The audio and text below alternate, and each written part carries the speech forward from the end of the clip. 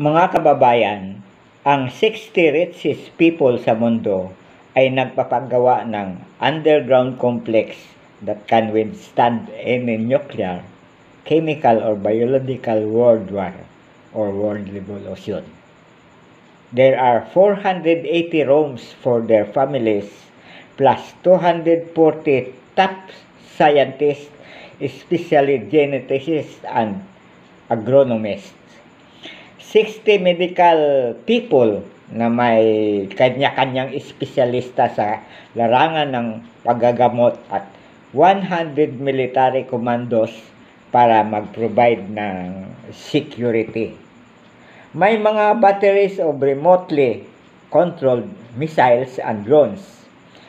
60 most beautiful women to repopulate the earth after the cataclysm ends and the atmosphere is clean again. Total population estimated to be 1,440 people.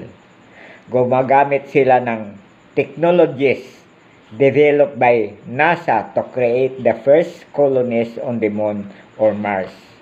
These rich people are going to finance wars between countries that will result to nuclear holocaust. Top secret ito. At kahit ang supos na titira doon ay walang alam kung saan parte ng mundo ito gagawin hanggang hindi pa sila nakakarating doon. Dapat ay malaman natin at pigilan ang balak na ito para hindi matuloy ang balaking maghari ng mga rich people na ito sa mundo.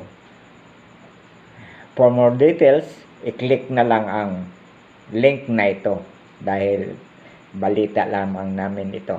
Eh, hindi ko ito sariling balita.